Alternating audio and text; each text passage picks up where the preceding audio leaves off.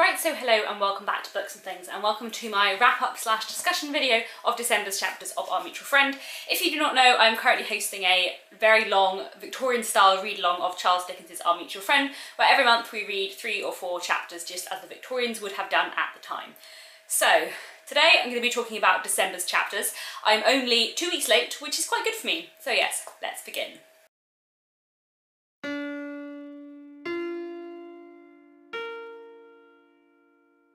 So the chapters we read in the month of December were Book 2, Chapter 7, in which a friendly move is originated, Chapter 8, in which an innocent elopement occurs, Chapter 9, in which the orphan makes his will, and Chapter 10, a successor. So to begin with book 2 chapter 7 in which a friendly move is originated. In this chapter we follow Mr Wegg and Mr Venus. Once more as often with the Wegg Venus chapters this chapter is in the present tense for some reason that I have not been able to yet decide even though I've been trying to work this out since I was about 15. But in this chapter Mr Wegg invites Mr Venus over to Boffin's bower which Wegg is currently looking after now that the Boffins have gone off to their fancy other new home. Mr Venus comes to the bower and with him he brings the bone that used to be from Mr. Wegg's leg before he had his leg amputated. They then have quite a long discussion and Mr. Wegg suggests a proposal to Mr. Venus that they together look through the great mounds of Boffin's Bower, the great mounds of the Harmon estate that Mr. Wegg is now looking after, that they search through them to see what money, papers, jewels, etc. they can find. And Mr. Venus is presented throughout the book as a less mercenary figure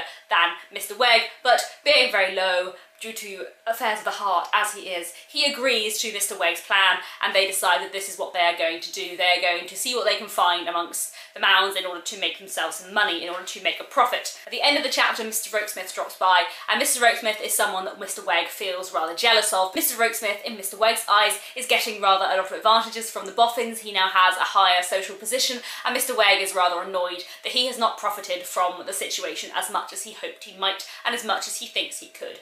That is basically what happens in this chapter. More of the very important theme throughout Our Mutual Friend of the connection between money and rubbish because once again people are plotting to make money from rubbish. They have this idea, or Mr Wegg has this idea that amongst the mounds of rubbish there will be something that will be worth something, whether it's jewels or money or whether it is old papers that he can sell on or effectively blackmail people with. And Mr. Wegg and Mr. Venus's relationship is quite interesting to look at in this chapter because they have quite an odd relationship in that both of them seem to slightly feel that they are above the other one. Mr. Wegg certainly feels that he is above Mr. Venus in many ways. For example, Mr. Wegg is rather put out by the fact that Mr. Venus approaches the house just walking with Mr. Wegg's bones wrapped up in a parcel and he's rather surprised that he didn't take take a cab and when Mr Venus says that he's not above a parcel, Mr Wegg feels very much that a certain sort of parcel might be above you. So Mr. Wegg simultaneously looks down on Mr. Venus but also knows that Mr. Venus would be quite a useful person, partly because of his trade, he would be able to know the value of a lot of the sort of things you might find in a rubbish heap,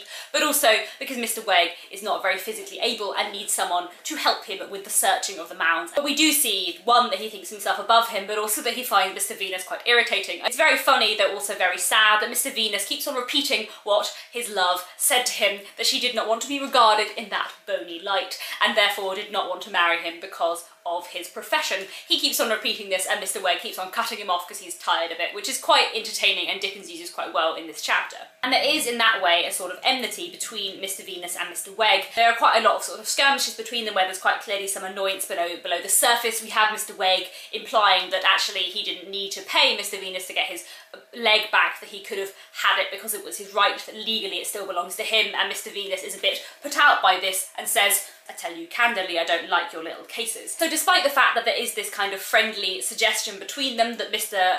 Wegg repeatedly addresses Mr. Venus as his brother and as his fellow man and so on and suggests this proposal between them, this proposition, there is also this kind of unfriendly tone beneath there. The title of the chapter is quite interesting here. It's a friendly move, but it's also sort of not because these men, although they talk to each other as though they were friends, there is quite clearly an unfriendliness between them as well. Another thing that's interesting to look at in this chapter is Mr. Wegg's language. He sets himself up as an artist, he quotes poetry, he says a lot of kind of romantic things, as it were, about fellow men and camaraderie and in doing things for the course of right, I think is the phrase he uses. But actually, we all know it's very, very clear that what he wants is money. And in many ways, Mr. Weg is just as much a fake as the Lammles who are pretending to be kind caring people who actually all, all of their intentions are all about money and Mr. Wegg is just the same.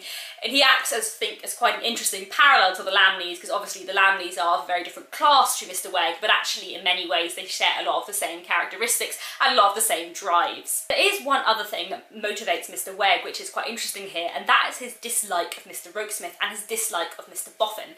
And his dislike of Mr. Boffin is one thing. He feels that Mr. Boffin has passed over him. He feels that he had this prospect to get on in life, to get a lot more kind of respectability and status and money than he thought he would ever have in his life. This opportunity was presented to him and then as far as he is concerned has been taken away, has been taken by the secretary, by Mr Rokesmith. Mr Boffin is no longer sort of patronising Wegg, as it were, he is now taking care of and promoting Mr. Rokesmith over him. So Wegg, in that way, feels very unfriendly towards Mr. Boffin, but also towards the secretary. And we see here that although he is motivated by his wanting of money, he's also motivated by his desire to discredit Mr. Rokesmith and his desire to discredit Mr. Boffin. He's very suspicious of Mr. Rokesmith and of Mr. Rokesmith's intentions and his involvement with the Boffins, but he also kind of wants to bring Mr. Boffin down because he feels that he has been treated unfairly that he deserves more than his lot in life. It's kind of clear that Mr. Wegg's intention would be not just to get money, but in some way to destroy the Boffins and to destroy Mr. Rokesmith in that process.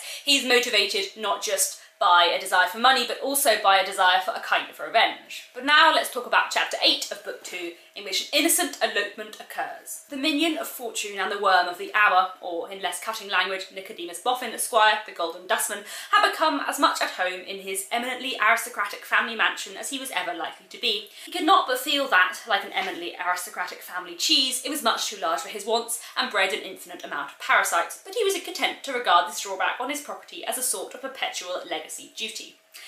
I have to say, I do always enjoy Dickens's language very much. It is very, very entertaining. So in this chapter, we get to see a lot more of Bella Wilfer's character, and Dickens works quite well here to give Bella a more sympathetic light than she is often seen in. This chapter begins with showing us how the Boffins are getting on in their new household in which Bella is living with them. We see Bella's interest and curiosity about the secretary. She doesn't really like him. She feels slightly unnerved by him, but she also doesn't quite understand him, and nor do Mr and Mrs Boffin. We learn that the secretary refuses to go into society. Mr Boffin thinks that he has something against Mr Lightwood. We all know that he's worried that Mr Lightwood will recognise him as Julius Handford, the mysterious man who they met on the night of John Harmon's murder. And then Mr Rokesmith has a conversation with Bella in which he asks her if she ever has any messages to send back to the family in Holloway where he is still lodging, and she feels rather hurt by the implication whether or not he meant it or she inferred it, that she doesn't see enough of her family, so she decides that she will pay a visit home. She goes back to see her mother and sister, and it all goes disastrously wrong, and everyone ends up in tears because they are all slightly insane, and it's a very odd scene. But after that, she goes and finds her pa, her lovely father, who she cares about so much. She makes him take the afternoon off work, she buys him a suit, and they go to Greenwich and have a very fine dinner, and a very long conversation in which Bella reveals to him that she feels she is a terrible person, that she is very mercenary, and that she wants money, and she's going to marry it. There's so many things that interest me in this chapter. It's definitely my favourite of the four chapters we've read in the month of December, and I really, really enjoy this one. It's nice to get a closer look at Bella's personality, and I think Dickens works very carefully here to show her failings and show her aims, but also show that she is a, a better person than she at times acts, that she does feel guilty for the way she is in some ways. It's interesting that at the back of my Penguin edition has like a chapter plan for each chapter, Dickens' original notes. The chapter plan for this chapter chapter in which an innocent elopement occurs, these are Dickens' original notes. Pave the way to Rumty's being Bella's friend and confidant. They have a day out together. She spends her money in buying him clothes and treating him. Say she is mercenary and why but, and this is underlined, indicate better qualities, interest the reader in her. I think it's quite interesting just to see Dickens's aims here because it's so, like, obviously it's much more subtle in the actual book and when you read his notes it's just so unsubtle. I want to make people like Bella more here, which is really entertaining because I do think you do get that impression from this chapter. You get to see a lot more of her relationship with her father, but also you get to see more of her relationship with the Boffins and also her relationship with the secretary. Now Bella's relationship with Mr Rokesmith and the way she perceives him and feels about him is quite interesting to look at because she has quite conflicting feelings towards him. Mr Boffin says that he can't quite make him out. Neither could Bella, so she found the subject rather interesting.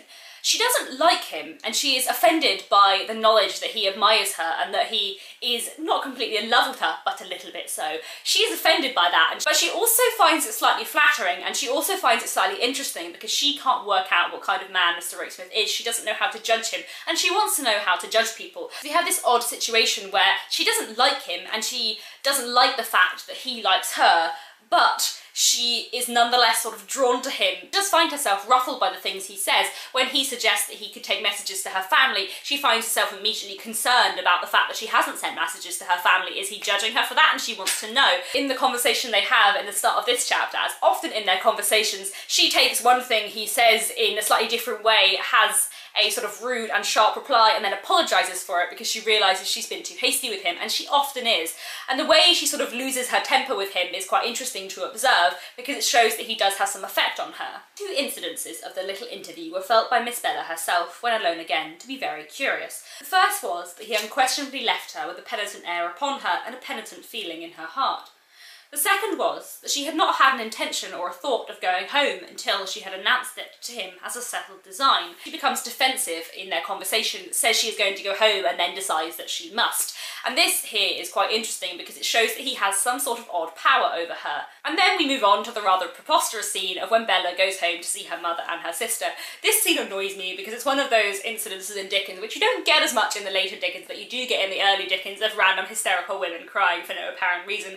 It's really funny, but it's also like Dickens. Dickens, you can do better. You can do more interesting things than that. Regardless, when, the fact that when Bella goes home to see her mother and sister, the first thing that happens is that they have a huge argument about ridiculous, silly things, about whether or not people might grow after they were married, and then all end up crying, is quite significant because it shows the lack of a good home life that Bella ever had. It shows partly the fact that the three of them could never have got on very well, but also it shows that the kind of resentment that her family feel now that she's risen above them in this way. The fact that Lavinia, her sister, is so jealous of her, and the fact that her mother is sort of jealous of her too, but in a very stiff, polite, cold way in which she implies that she disapproves of everything. Again, in the way that Bella behaves with her mother and sister, we do see how spoilt she is. Dickens says earlier in this chapter that she is doubly spoiled. Spoiled first by poverty and then by wealth. There's an Oscar Wilde quote in which he said, I think possibly in the picture of Dorian Gray, but I'm not sure, that the only people who think more about money than the rich are the poor.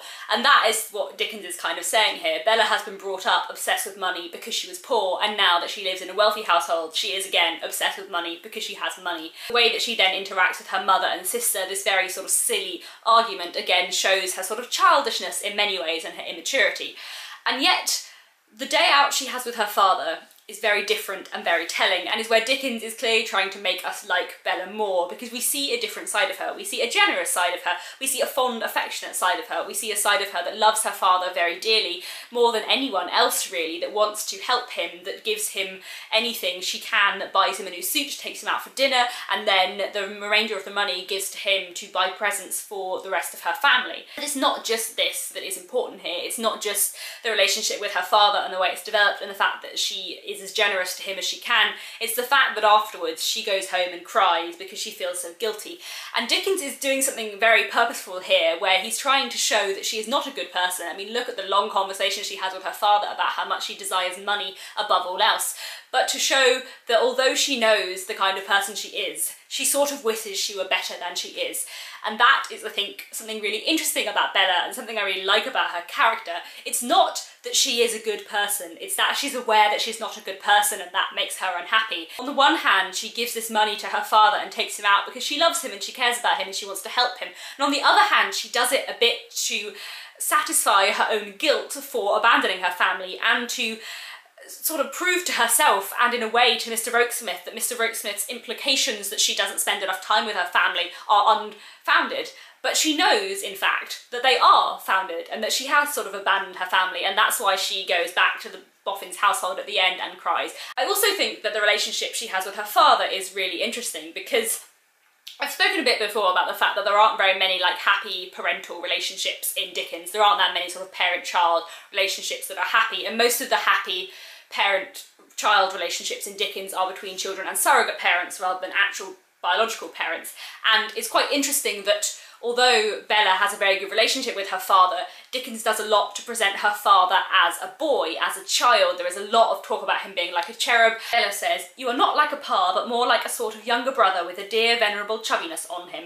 This idea that they are very, very close, they have a good friendship, but actually their relationship is not really like a father and daughter, it's more like a brother and sister, or more like Bella is the parent of him, the way she attempts to patronise him. I think that's done quite interestingly and is very interesting when we look at sort of parent figures in Dickens as a whole. Then we have to look at the things she says to her father, her desire for money and the way she speaks about it. I am the most mercenary little wretch that ever lived in the world. It's not that I care for money to keep as money, but I do care so much for what it will buy. When I was at home and only knew what it was to be poor, I grumbled but didn't so much mind. When I was at home expecting to be rich, I thought vaguely of all the great things I would do, but when I had been disappointed of my splendid fortune and came to see it day by today in other hands and to have before my eyes what it could really do, then I became the mercenary little wretch that I am. I have made up my mind that I must have money, Pa. I feel that I can't beg it, borrow it, or steal it, and so I have resolved that I must marry it. I hate and detest being poor, and I won't be poor if I can marry money. And we see for Bella, it's not just a matter of wanting money, it's also a matter of being calculating about her future, of the kind of life she wants to lead, and the way she has to act in her mind to get that life. So we have a very complicated portrait of Bella in this chapter because Dickens presents her both in this very simple light in that she wants money. In a way, she's almost as mercenary as like Mr. Wegg. But on the other hand, we also see her fondness for her father and her guilt over the kind of person she knows she is. So yes, all in all, a very interesting chapter. And yes, Bella is a very interesting character. Moving on.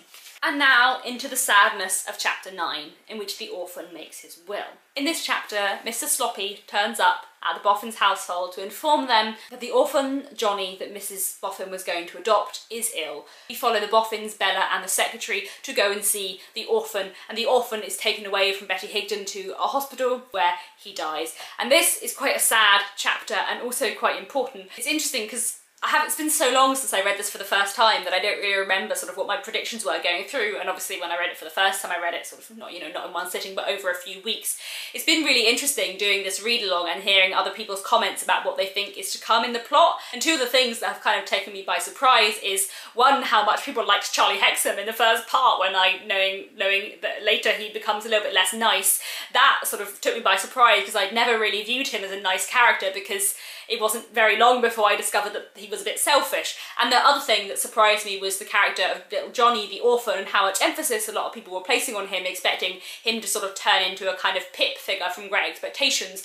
But actually, he's gone very, very soon. And knowing that, it, I never really thought about him in, in the same way. But it's interesting to see doing this read along what the Victorian reading public must have thought because they also must have thought that this little orphan boy would have a massive impact. His death happens so quickly we find out he's ill and then he's dead within the course of a chapter. It must have been quite shocking for the Victorian public. But there are quite a few things of interest in this chapter like he has previously when dealing with Mrs Higden. He drops into this voice that he sometimes does in his social criticism chapters where he's talking directly to the reader to my lords and gentlemen and honourable boards. He is making a direct political social statement of look this is the kind of thing that happens to poor children all over the country. This boy johnny stops becoming a character and becomes a symbol for child poverty just as oliver twist is in oliver twist for example. Johnny at this point stops being a character and becomes a symbol for all of the children like him that die in terrible situations and an illness throughout victorian britain. That's what dickens is saying here by addressing the reader in that direct way. Likewise the way that betty higden responds the fact that she is so appalled by the idea that they might take him to the poorhouse when of course they're just trying to take him to a hospital. This again, Dickens is setting up as something bigger than just this individual family. But the other thing that Dickens does in this chapter, which is quite significant, is builds the characters of Bella and of Mr. Rokesmith. In the last chapter, we got to see Bella in a more positive light, but it's in this chapter, especially in which the orphan makes his will, that we get to see both Bella and Mr. Rokesmith in an even more positive light because Dickens uses this tragedy to show both of these characters as the good people they are. Underneath Mr. Rokesmith's mystery, underneath Bella's mercenary nature, we see their kindness in the way that they act towards the orphan and also in the way that they act towards Mrs. Boffin. Bella's behaviour was very tender and very natural and she kneeled on the brick floor to clasp the child. The way that she acts towards the orphan shows her in a better, more true light than most of the rest of her showy behaviour. We see her in a better light, and also so does Mr. Rokesmith, who is present, and that's important there. And likewise, the way that Mr. Rokesmith acts, the fact that Mr. Rokesmith is the only one who realises how serious the danger is, and so he goes back to see the orphan late at night when no one else is there. There are two things that are important to note here. One is the way that he feels about the orphan, the fact that he feels drawn to the orphan in some way and feels particularly connected to him. We find out in the next chapter, for example, that Mr. Rokesmith is an orphan too, and the fact that he goes to see the orphan and feels so sorry for him is of significance. In a way, there are two reasons why Mr. Rokesmith goes back to see Johnny. One is for himself, and the other is for Mrs. Boffin, who he has a great fondness for. Nobody but Rokesmith knew for certain how that doctor had said this should have been days ago, too late. But Rokesmith knowing it, and knowing that his bearing it in mind would be acceptable thereafter to that good woman who had been the only light in the childhood of desolate John Harmon dead and gone, resolved late at night that he would go back to the bedside of John Harmon's namesake and see how it fared with him. Mr. Rokesmith is the one that is there when Johnny dies, when Johnny, this kind, small baby orphan, gives his toys to the boy in the bed next to him and kisses Mr. Rokesmith as a will, part wanting him to pass the kiss on to Bella. It's a bit like, oh, I know a lot of people say that Dickens is really sentimental, and I love the sentimentality, but obviously, like, having Johnny the orphan give the toys to the boy in the bed next to him is just like, not like overdoing it, like I still find it really moving. I especially find it moving the fact that Mr. Rokesmith is the one that's there because he is such an important character in the book. But but Dickens is being purposefully very sentimental, purposefully trying to draw in the emotions of his readers, partly because he wants them to engage with the book, but also because he's making a social and political statement about illness and poverty within the Victorian period. But anyway, moving on to the next chapter. Chapter 10 a successor. In A Successor, we focus instead on the character of Sloppy. After the death of Johnny, Mrs. Boffin, who was already about as selfless as people go, decides that she was being too selfish and not selfless enough in wanting to adopt an orphan baby who would be pretty and bring her lots of love, and decides that what she wants to do is share the fortune and adopt an orphan who she can really, really make a difference to. And she goes for someone slightly older and someone less pretty, less appealing, but also very interesting, and that is the character of Sloppy. I really like Sloppy as a character. I think he's very very interesting and I like that he is important in the book and I think his, his role and his change over the course of the book is quite interesting. That is the main substance of this chapter. We get a slightly closer look at the relationship between Mr Rokesmith and Mrs Boffin and Mrs Boffin decides to adopt Sloppy. Now, things of interest in this chapter. Conversation that Mrs. Boffin and Mr. Rokesmith have is quite interesting here. The relationship between Mr. Rokesmith and Mrs. Boffin is looked at here. Dickens says John Rokesmith's manner towards Mrs. Boffin at this time was more the manner of a young man towards a mother than that of a secretary towards his employer's wife. I've talked a lot before about how surrogate families operate in Dickens in a really interesting way, and there are moments in this book where you see Mr. and Mrs. Boffin sort of adopt Bella Wilfer and Mr. Rokesmith as their surrogate children. For example, when Mrs. Boffin wants to inform people that she wants to adopt Sloppy, the people she brings into the room to discuss with her are her husband, Bella Wilfer, and John Rokesmith. In an odd way, they form a sort of family The conversation that Mrs. Boffin and Mr. Rokesmith have is quite interesting. Mr. Rokesmith is of course presented as a man of mystery, his name even means like Mystery Smith, weaver of mysteries or whatever, but Mrs. Boffin seems to be able to see into him more than other people can, and we find out quite a lot of information about him in this way. That he had a sibling who died a long time ago, that his parents are both dead, that he has no other relations, and that he is under 30. All of these things we didn't really know before, and it's quite interesting to find out a few more solid facts about Mr. Rokesmith, and perhaps soon we will find out a few more more solid facts, but anyway. And the other thing I enjoy in this chapter is Sloppy. I like that Sloppy cares so much about Betty Higden that the idea that he would be abandoning her in some way just makes him howl with tears because he can't bear the fact that he might leave her because he cares about her so much. Again, we see a sort of surrogate parental relationship in that Sloppy views Mrs. Betty Higden both as his mistress in a way in the fact that he works for her but also as his mother or his grandmother. The fact that he cares about her so deeply is really important here. Sloppy is entirely unrespectable. He behaves in a way that even the footman at the Boffin's house finds a little bit offensive and a little bit too vulgar for him but he is genuinely good at heart and that is what Dickens cares about most. That is what Dickens triumphs and that is nice. So there we have it. That is, I think, all I wanted to say about December's chapters. I thoroughly enjoyed the chapters for December. In the month of January, we will be reading three chapters. Chapter 11, Some Affairs of the Heart. Chapter 12, More Birds of Prey. And Chapter 13, A Solo and a Duet. A solo and a duet is one of my favourite chapters in this book. I'm not sure it's my favourite chapter in this book, but I think it's probably my second favourite chapter in this book. I'm very excited to talk about this one and I'm sure January's video when it is up, hopefully in not too many weeks, will be rather a long one because there are many things to discuss and I'm so excited. For soon, soon, January's chapters are very exciting. I hope you have all enjoyed today's video and that you are all continuing to enjoy Our Mutual Friend. I'll be back very soon with another video and hopefully it won't be too long before my video on January's chapters are up. I am hoping to actually get on top of the read along this year.